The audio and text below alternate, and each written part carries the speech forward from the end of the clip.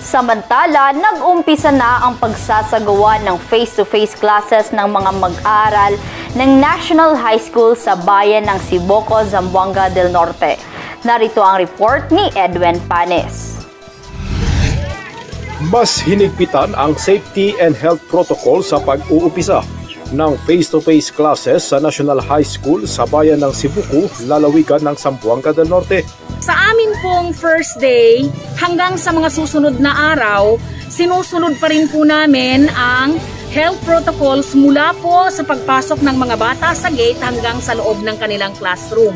Meron po tayong hinandang mga araw at may mga tao po tayong nagbabantay na i-monitor ang mga bata upang makasunod sa mga arrows na itinakda para sa entrance and exit mula sa gate papunta sa loob ng classroom nila at pabalik palabas. Nasa dalawampung estudyante lamang ang pinapayagang makapasok sa bawat classroom para masunod ang social distancing.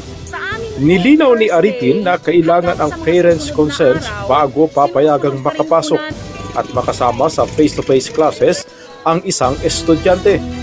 Ang tinatanggap lang po natin ng mga estudyante ay yung meron pong nakapirma ang parents ng waiver.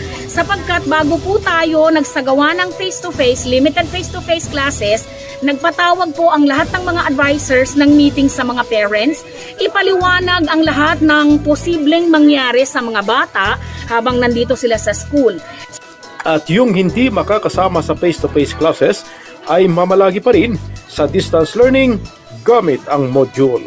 Mula dito sa bayan ng Sibuco, para sa Agila Pilipinas, Edwin Panes, またたウまたパンまたパン